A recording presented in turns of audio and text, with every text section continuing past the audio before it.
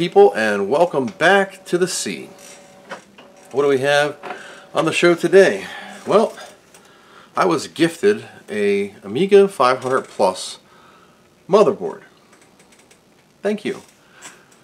But this one is very um, typical Rev 4 Amiga 2000-ish and I want to show you a little bit closer up. There's Agnus. She's uh yeah, she's seen better days. ROM socket. Uh really crusty. CPU socket. Got a missing a couple teeth there. And it's crusty. All the resistors, they're white ashed. Denise uh, toast. Surprisingly, the CIA socket looks mm, okay. And this one here looks even better. Gary, AWOL, he's missing some pins. And uh, yeah, the resistor pack area. How's the battery? Well, it doesn't look like it's ate through the lines like they usually do in this corner right here. This runs up to CIAs and Gary and all that crap. Over here is really clean. It does say 500 plus revision 8A. It's a 1 megger.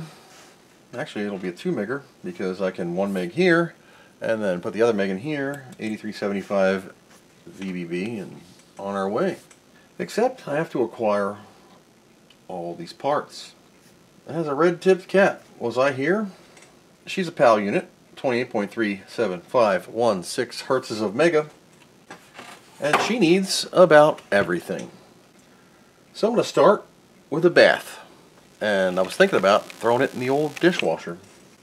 Because why not? What's it going to do? Hurt something? But my wife doesn't want me doing that. So I'm going to do it the old-fashioned way, and that is with her toothbrush and a bunch of alcohol and vinegar and just remove everything. We're going to take all the sockets out, and this one's going to be a special, unique one because in the past, um, Mr. Jack from Pints and Amiga gave me a few of those ZIF socket things, like the zero insertion force dudes.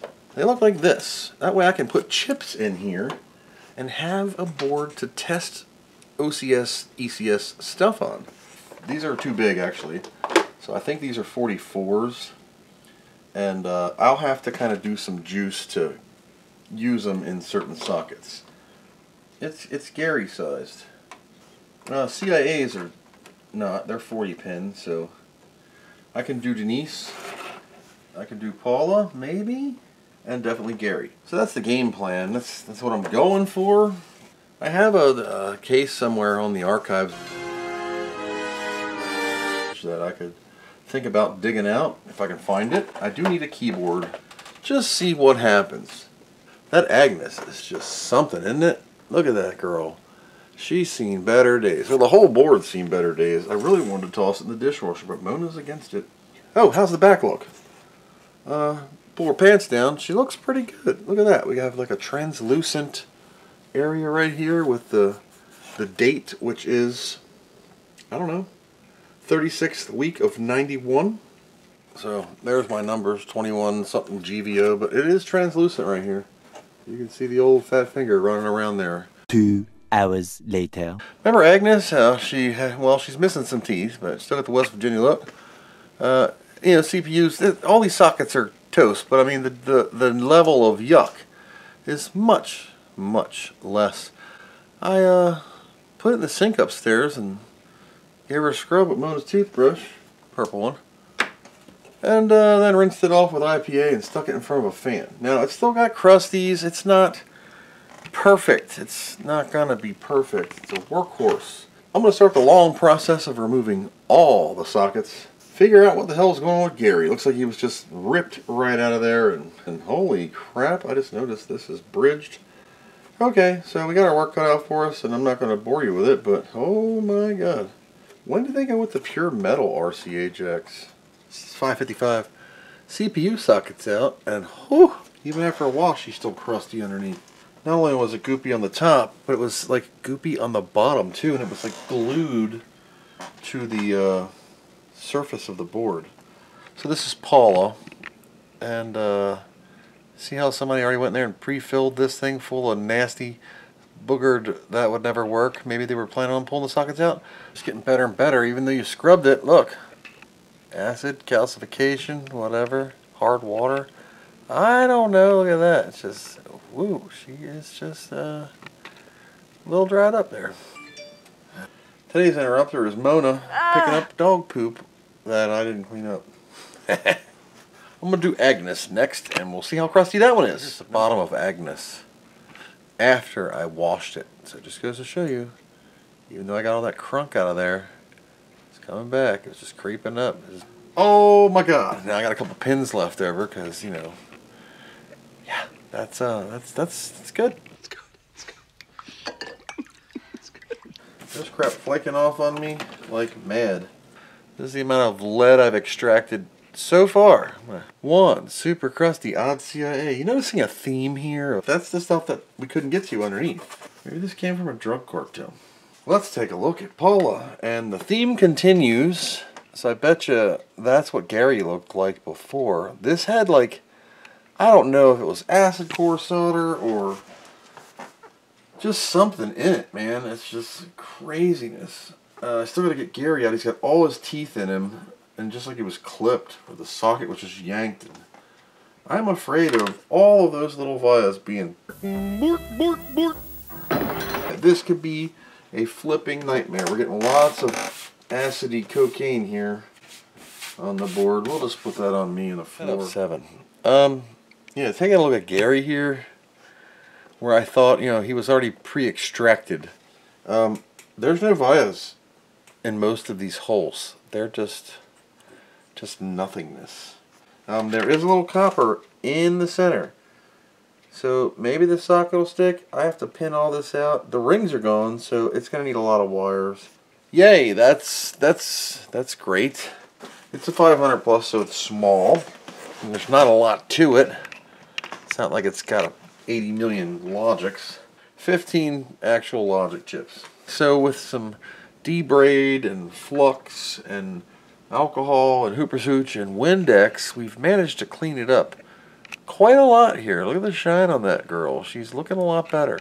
Um, you know, it's far from perfect, but I've fiberglass penned and debraided and got all the crap out I can. Paul is kind of crusty in spots. Gary is really bad. He's missing half his rings all over the place. Um, the odd CIA I have not cleaned up yet, but I have removed it. I still have to remove the even and Denise, but my body's running out of power. It's 7.24 and it's been a long day for me, so I'm going to try and catch up on this another day. So I'll see you guys in a second. 3.48 p.m. Last we left off, I ran out of energy and turned off my stuff. I did get Gary, Paula, Agnus, the ROM, and the CPU sockets removed the sludge cleaned up with some Windex fiberglass pen scrubbing. Found out that Gary lost a lot of his pins, and that sucks. Um, odd CIA's been removed. Haven't totally cleaned that up yet. I have left Denise and an even CIA to remove. And then I'm just going to not think about the capacitors for a while. I will replace them. Maybe. We'll see. One of my Discord members and friends, Jonathan, found a ZIF socket for an Agnus. Pretty cool. Due to its dimensions, it might hit the resistors around here. We'll see how it. I'll, I'll see. It's like sixty-five dollars for this socket, and if I bork it, that's that sucks. Cup of coffee in my friendly mug. Read that for a second. Sound out the words. Forms letters that form a words. 4:12 p.m. Last of the two nasties are out. Look at that. Holy Christmas! Membership in the Jelly of the Month Club. Today's interrupter is brought to us by Mr. Donald A. Got his 3.2 CD. If you're watching this, Donald, you'll be like, dang, that was a long time ago. And Mr. Jack from Pints and Amiga needed an Amiga test kit. I sent him the link to Keir Fraser's site, and he said he went down there and none of the images that I write. Can you send me the ADF? Even though it's in the zip. So I replied, shaking my head, it's in the download dingus. But here you go. He said thanks. So with that beep out of the way for 15 or 20 seconds, let's do the other socket. Here, let's take a gander at our finished removal. So here's Denise, looking a lot better than that white cocaine odd CIA that I literally just did five seconds ago. Even CIA turned out real nice. Gary, yeah, that quarterback is toast. Paula, eh. Agnus, eh. ROM socket, pretty good. 68,000, eh. So, Gary's going to be our problem child, along with the battery area. So I'm going to have to go through him, mainly check the 48 through 40, final 8 here that run through the resistor packs and down past the battery. It like cuts right on the edge. I mean, whoops, it cuts right on the edge. Normally this girl barfs out. Uh, this is the negative, positives. So what we're looking for is, you see these dots right here? We're going to look right here, okay? This is the resistor packs. It runs right across. This is where they bork. I do have to get that peg out of there. And also, my camera sucks the donkey. So you can see she is literally right on that last data line. I might bork one or two that I'll have to fix. Probably one to that bottom silver dude here. Runs right on up the side. My fingers are got flux and crap all over them. But yeah, I gotta try and get that peg out right there. So I'm gonna use the manual Mona, which is my Kotto solder sucker. I'll try to remember to put links in the description for these things. And I'm gonna have to crank her up to 896 degrees. That's that's Fahrenheit, not communist. Got an alcohol in my hands, the Hooper's Hooch, just to get the sticky flux off. Kotto solder sucker. It actually says solder sucker. I'm gonna add some to this lead pile of crap just to reconstitute it into something that melts. Suck it out. Oh, didn't get that one.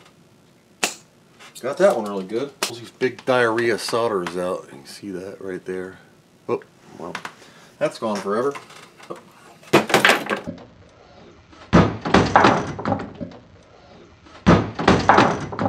That didn't help either. This was a poker set I got. This is jacked up. It's really, it's steel. Mesh wire. But this thing, it looks like a flat blade. It's a chisel. And you could cut, you could like remove a kidney. This is so sharp. However, I try to use it like this. And I don't know if this is going to work because, you know, my camera sucks. My filming is epic. What I do is I put a little dab of flux on here. Trying to do this sideways so the camera can see. See how the flux just kind of helps me get the goop out here. And I'm just going to be careful because I got some data lines in here I got to worry about. But I got to get that green scuzz off of it. And you're thinking, oh my god, that looks horrid, Chris. Yeah, it looks horrid. It's really bad. But, and it sounds, it just sounds wonderful. Well, I'm hitting some dry spots, okay? And I would repeat this process. And then I'll just take some alcohol again, just a little bit of lube here, and just take off what I just scraped. See the Q-tip turning green.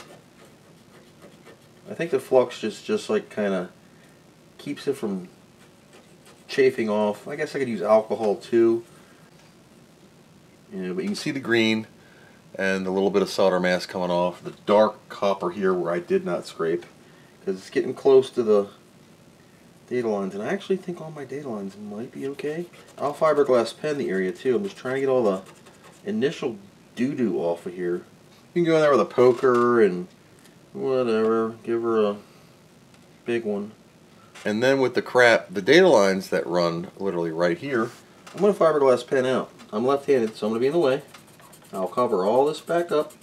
Fiberglass pen is a mild abrasive. Alright, so look at that mess. Alcohol on a cotton swab. Going to wipe her down. Now I didn't scrub all the way through. The idea is check these lines right here. Down to these points and up to those points you can barely see on the top. I'm worried about one right here to this point. Right there. Well that goes to this little point. So I have to kind of, I was fiberglassing, I was working on it, so that's my last, I got to get this out. And I'm going to take it all out up to here. all the way around down to these points here. Just going to clean them all out. It'll say nothing. It won't say bah. And then over here on this negative, this is an open spot. There's one really close right here. Got to get out. It looks okay. Um, the camera doesn't do it justice, but you can tell that it's there. And normally those are 8 the F up. And they all go up here to these resistors, pull-ups and stuff that go over to Mr. Gary. Who is this Gary character? RP105 sitting there naked. And JP7A and all that good stuff. It's the gift that keeps on giving the whole year. Well, lick my face and call me a marshmallow. Even the two boogers next to see whatever the hell this one is, was, I was worried about those two. They run up to that jumper pad JP9 north, but look, I didn't scrape all the way up, so if you're seeing some darkness, I left that alone. I got all the goop out of this, just epic looking thing. I'm going to take the center hole out of here too and re-tin these just to touch them up, make sure they're talking. I did find one ring break, just ever so much. I had to drill this out with a micro drill. I'm going to put a piece of wire in it, fill it with solder, and then bond it. And then the whole thing will get solder masked with Sally Hansen Tam, Tan Lime fingernail polish. Right here. There you go. Thinking that doesn't look filled. Right there. So that's where we came through. She's still a little bit damp. So right like that. The wire is still cut here. It would have ran over to here. I could have did it there. But looks a lot better only having that. And when it's solder masked, you're not going to see it. I also uh, tinned the balls on all the points. And I'm just going to go through and double check my beeps before I green this out. So I can zoom in to like 150% because I'm blind. Slide on over here to the battery area. And bottom post is ground, I know that. So we'll click the next one, which is blue and I hate. But I can make sure it's got all its beeps. So U, so watch pin? U11 on the bottom, pin 1. Got it there. So this is what I'm working with. I checked that line, and we're going to check the next one here. Oh, it's red. That's, that's great. Can't see anything there. So yeah, all those colors that don't look colorful because I make my board gray. So it's a little bit easier on the eyeballs having a monochrome-ish looking with colored dudes. Alright, enough of Amiga PCB Explorer. Thank you guys for that site. Donate if you can. PayPal, even if it's a dollar, it helps them out just to keep web fees down, monthlies. These things cost money, domain names, etc. I'm going to start putting sockets back in her. There is a freaking resistor right on her butthole. Yeah, it's got a ceramic cap on the end of every one, so it's not going to work. If I move these ceramics to the bottom, it is possible I could do this. And that would be cool, because that's the game plan for this girl. There is no 68,000 ZIF socket that I can find. Okay, so that cap, that's like on here, see this capacitor right here? So I took this on the top from her, put it on the bottom. Yeah, it's going to elevate a little bit, but that's not what this board is about. This board is so I can use ZIF sockets, so I can test everybody's stuff if I have an OCS machine. There we go. Look at that. One. Whoa, shit, it's heavy. One ZIF socket Denise. Wow, that's crazy. A lot of work for a little 500. One, two. Cool. We got everybody populated but Gary. Denise, Paula, CIA, CIA, 204 ROM, 8375 VBB. Yeah, they're expensive. And a 68,000 that I had. The only issue I have here with the ZIFs is Gary. Uh, something to knock this arm down. We'll just pinch it off and pull that little green nipple and put it back on. The, the one over here for Denise is fine. Um, still looking for 20s for CIAs, but you know, I can, they're just turn pin sockets. I did a standard 42 pin because of the extra, uh, I didn't have turn pins in that, and I didn't want to do turn pins for a CPU because I hate them. Good morning, it's 8.44 a.m. I just finished pinning out Gary all night. Are you stupid or something? So the one problem I ran into were the capacitors. There's some ceramics. Uh, they're next to the IC. I just relocated all of them to the bottom. One, two, three. No big deal. That way this big monstrosity of a socket can fit in here. I ran into one problem on Denise where the arm was going to bump into Gary. So I just gave her a little bent bob there. And it's totally usable. Pop a chip out, pop a chip in, fold her back down. You're good. So I also marked the sockets for pin 1 and wrote a pin 1 just in case my brain don't work or the next guy that gets this when I die can be like, what the hell is this? That is the amount of lead I pulled out of this board, by the way. That's pretty substantial, these dill pickles, so yeah. Okay, so I'm all set up for a test. I got the GBS, the Retro Friends box, I got my thingamabobber hooked up. The Agnus, um, this is a 500 plus PAL. So, according to the whatever of uh, Sprint layout, it's going to need 318-06910. I have 318-06911, but it does say 318-06911 for NTSC or 390544-02. So I have to change a crystal, or this will just green screen, right? It will just go green, red, green, red. Hit it. Nope, nope, just green. Nope, there's red. Okay. We have an Agnus error. I'll change the crystal. That's what I'm going to do. I'll just put a socket on it so I can flip it in the future if I ever get that Agnus. Good thing I took that crystal out. Look at that home slice. Yeah, that wasn't going to work anyway. The crystal is rotted out underneath. Literally rotted out and leaked into. I don't know if you can see that. This day, this project is like never ending. Emotional, damn it! 5.23 p.m. I believe I found the boo-boo. There's no way in hell you're going to see it, but I'm going to try. Number one, I'm not Picasso, okay? I made a massive booger drag of solder off of a resistor. But the line next to it, there's a ceramic capacitor right where my nasty thumb is. Right here. See that mess where it looks dark? Don't don't take your eyes on that. It's a big old turd. I just drug it. There's a break. Right right there. It's so tiny. I filled this with solder, scraped her out, started scraping lines like what in the hell? Right there.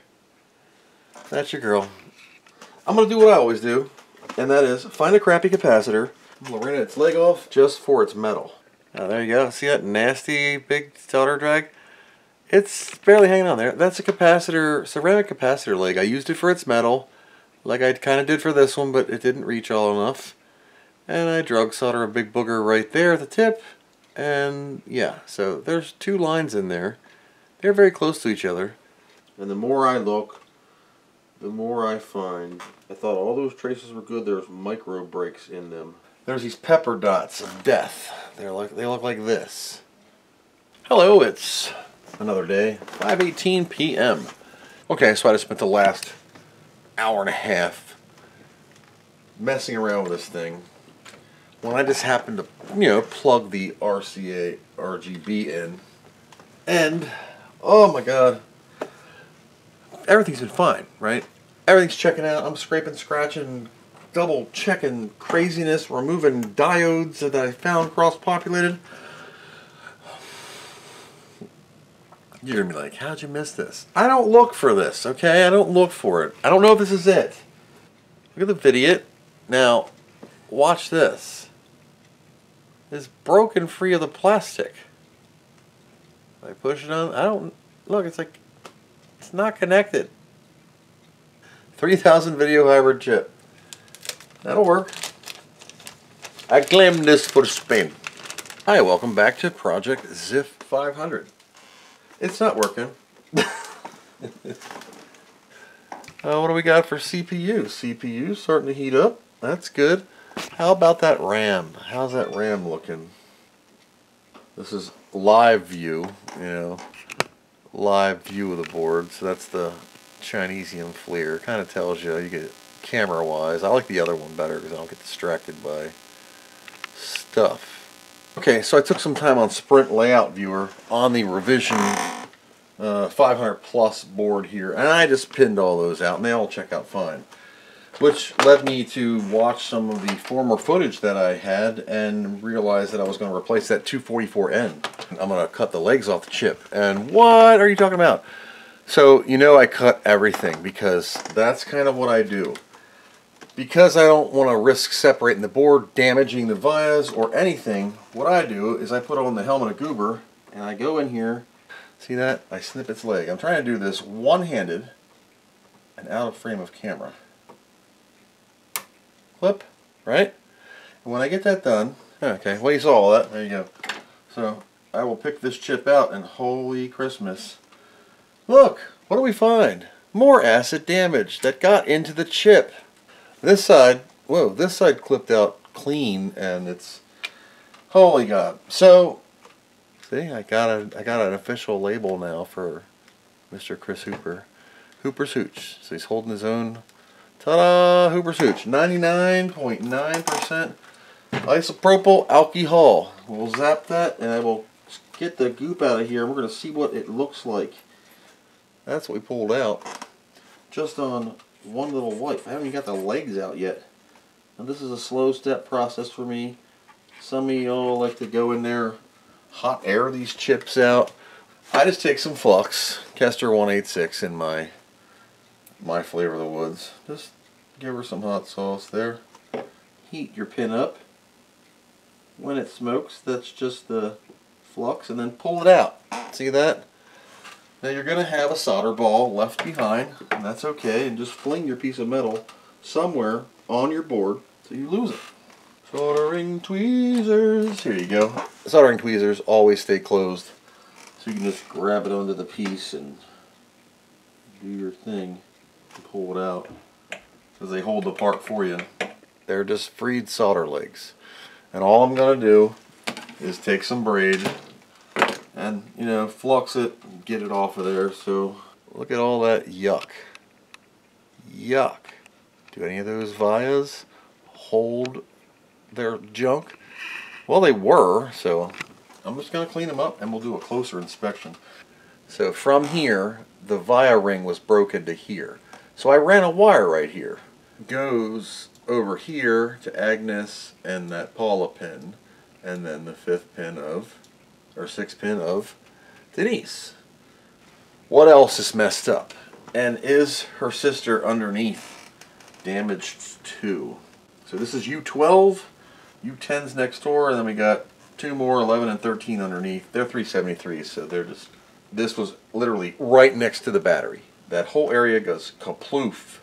Oh, it's 4.34 p.m. If I look like death, that's because I worked a 30 four hour shift and I was on two hours of sleep the night before because I was an idiot and stayed up working on Amigas.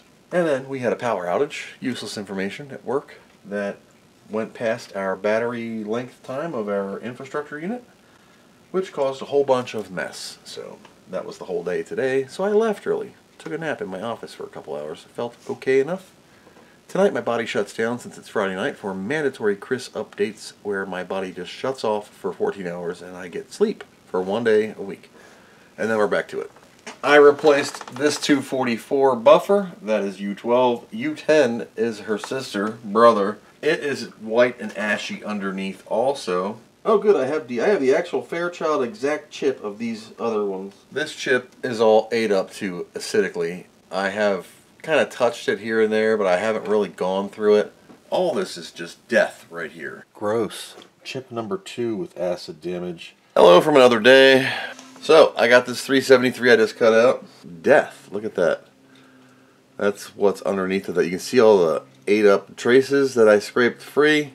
Now, if I turn it over the correct way, you'll see where we're at in the 500 pluses. Battery barf right here, line scraped. And just like that, through the magic of editing, McDonald's chicken nuggets, the power of Grayskull, we got a socket in. I found another broken line underneath. Did these chips die a death? No. Should I have removed them? I believe I should have, just to get the crusty acid underneath, because if I would have left that, what would happen? Yes, could I have gotten it to work? Poss if the chips were good, possibly. But what's going to happen is that acid's going to continue to work its magic, and over the years, maybe not in a year, maybe not in two, but maybe later on, it could have happened anytime. It would eat through again, and then you're in the same boat, wondering, man, this thing had sockets on it, and it's still all jacked up. What happened? Which leads me to believe, is there this crust under every single chip? Because every single chip I took off so far has looked like death. We'll give this thing a deep bath. I'll pull all the chips out and we'll give her a good clean, clean, burnt. I don't know if it's bad, but you know. Okay, so I just snipped her out. Let's look at the instant results of. Oh my goodness! Can you see the look? It looks like like mold almost. Oh God! That thing had nine lives. She just spent them all. And I was worried that one didn't have anything underneath of it. Joyous occasion. This pin's gone. That's luckily non-connect. This is VCC, and this one broke the ring on both sides. Fiberglass pendant. There's a little line of acid crust that probably infected all of them. Broke the ring there, broke the ring at the top. It's just wonderful. It's just a blessing. Yeah, I bet you could use a cooling, huh? Now you're talking. Hello from 1:48 p.m. Remember when it was just like 8 o'clock a couple minutes ago? Well, let me show you something. Here's a document that I've been doing on the delay lines and DRD and uh, all the buffers and flip-flops and transceivers. She's starting to look like spaghetti on the bottom. Because as you can see, maybe one, two, three, four, five, six, seven lines. Some of them are really tiny. Yeah, I'm not Picasso, and this isn't perfect. I'm not worried about how it looks on the bottom because we don't look at the bottom. 10 to go. And it just takes forever. Mental health break time. I'm going to hook this up, and we're going to test it. Here we go. Oh, yes! DiagROM! Yes! Yes! Alright. One mega chip, because I don't have the belly in, She's 8375. 68,000. Good gugga mugga. Two megs. So it'll start borking out. Shadow Ram will kick in after a meg because I don't have the the this thing. This is only a 512er. There we go. So 1024 it's going to start borking out, which is fine because remember, 2 meg Agnus. This is the old DiagROM, okay? This is a PAL unit. So she's jumping in PAL, and she should just get all OKs. I haven't even finished testing those lines. I should go through them, but since it's working, I probably won't. We're going to go to the newer DiagROM. Off. 121 this is. I have to learn the hieroglyphics of these V position. I know what they mean, but I don't know what these values are for good, bad, or ugly. It's just, that's the Hertell hieroglyphics. Most important thing is, is it works. Oh my god. Willa Buddha Kickstart ROM.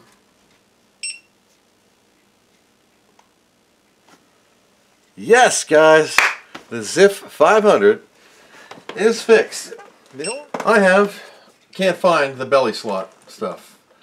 I can't find it anywhere to get my 2 megs of chip RAM.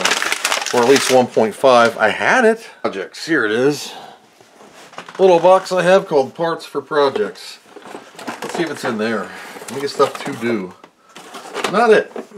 Not those projects. Those are 3,000 projects. I have a CPU relocator here that shoves this up here, but because of my ZIF sockets, I don't know if I can use that either. It's possible I can. Let's see what happens. So, I don't know if that's going to work because this cap is just huh, too high. Let's see if I can squish it over there. And my crystal's in the way. Well, that is some ghetto stuff. It would fit, but the crystal's just too high. Let's see if I can let's see if I can cut a couple reliefs off her pins here. This crystal's in a socket, so now it's flush. Let's see what we get. This cap is not sitting right. Eh. Close enough. That's down. Now we'll put this contraption on here like this. What a mess that is. God. Yeah. What happens? Let's see. 68030, 64 megs. One mega chip.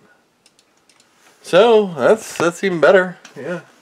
Speed is it I think it's 50 or 51 51.8 give her the cold shower pull 1.94 better than a 3030 look at that because of the RAM uh, B2000 so 12.88 times faster than itself no FPU on this model let's put a 3.1 ROM in it what's the expansion board yeah it sees DH0 now boot I don't know if it's going to work or not. I think it's 314 on here. Now this compact flash card is also extremely old. Today's interrupter is brought to us by Mr. Jonathan, who found a keyboard for this thing. Incredible. Thank you very much for that. I appreciate that so much. And a thumbs up. This is still going, and it's slower than dirt, so I'm not going to mess with it, but it works. Oh, is it finally going? I saw a screen change. Oh my god, look at that. It took forever. Magic Copper, you need AGA to run, and Magic Workbench should load, and that is horrible. But it works. That's crazy. MediaKit sensors, Gods, NTSC. Yeah, this isn't going to work. 64 megs of RAM, 1 mega chip. There is my preferences. Holy Christmas.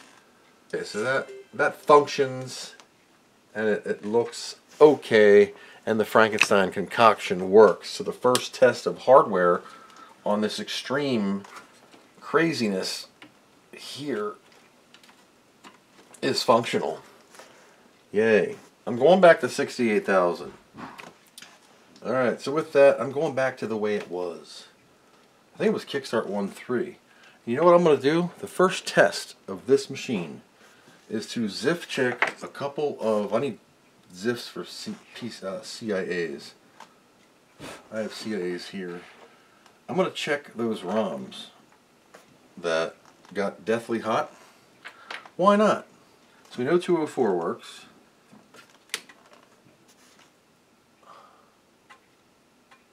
One point two. Wow. Okay, so I had to label this sucker. Nobody plays with that ROM at all.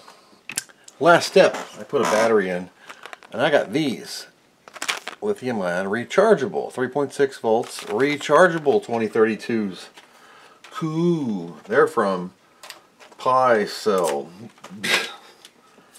Don't know anything about them. Just ordered them. Do we have continuity now? Yes, we do. Voltage. 4.35 is our charging voltage.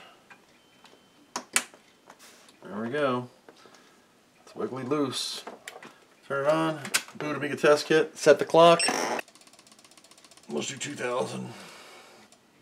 214. We'll do a couple seconds. Save and exit. Okay? Turn this off.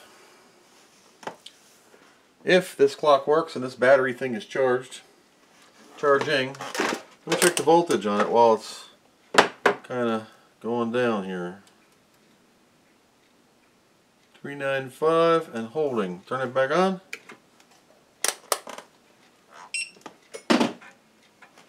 Not that I need a clock for anything, but if it has it, might as well fix it. October 30th, 814.05 and ticking.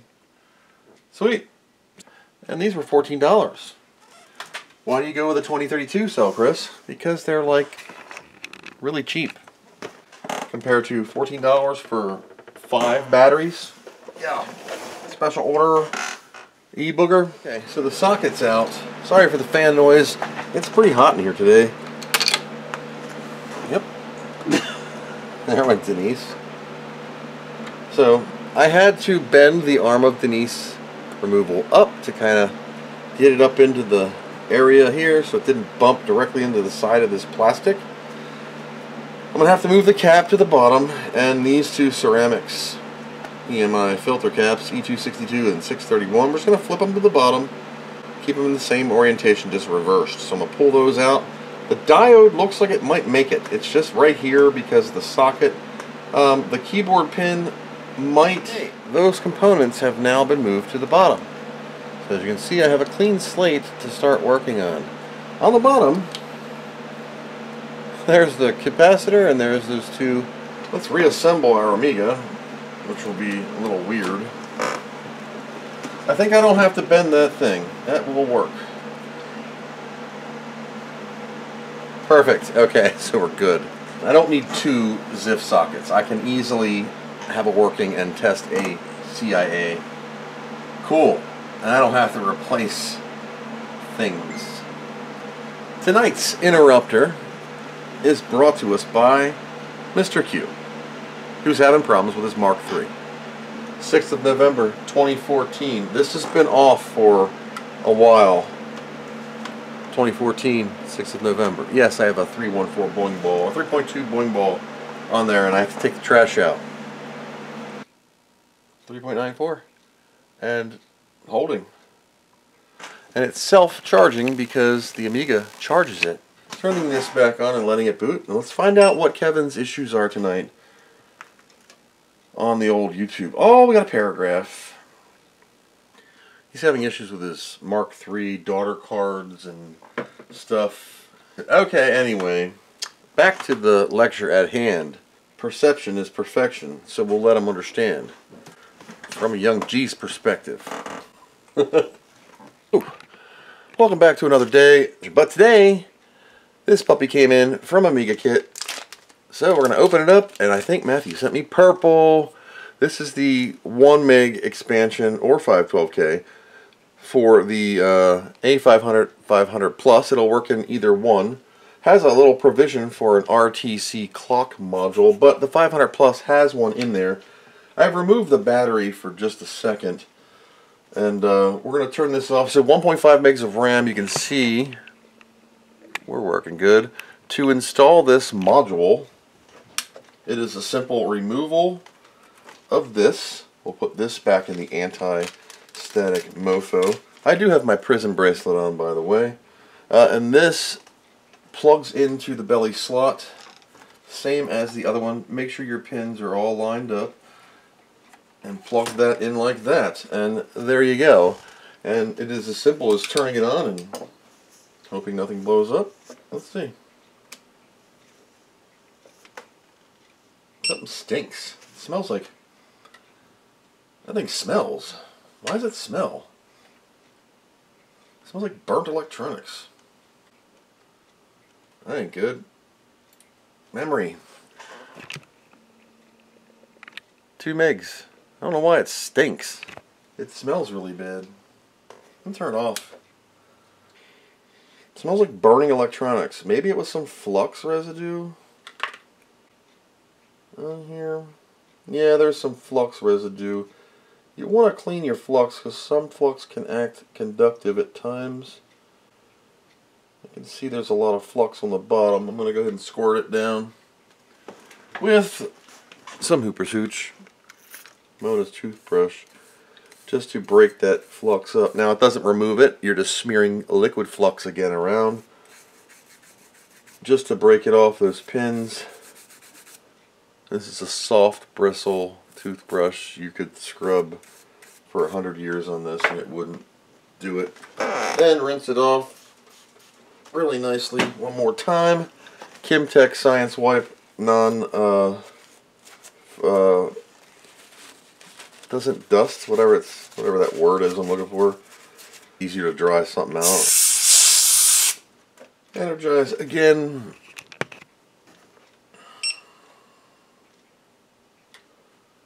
RTC. I have to reset the date, but memory 2 megs of chip RAM. Yay! Okay, battery is back clicked in. We'll go back to the clock here.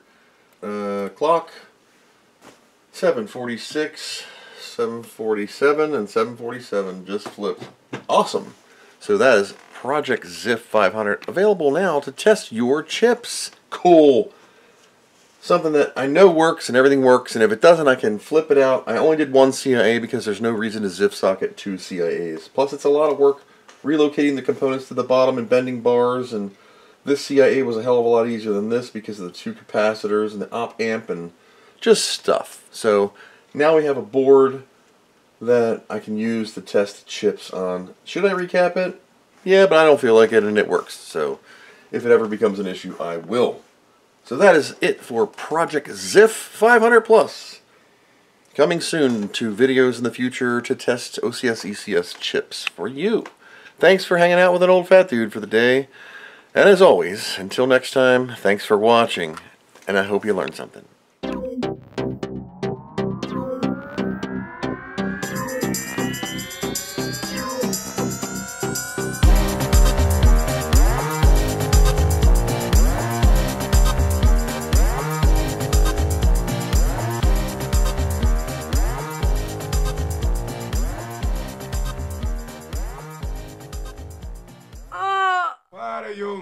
Funny, you bastard?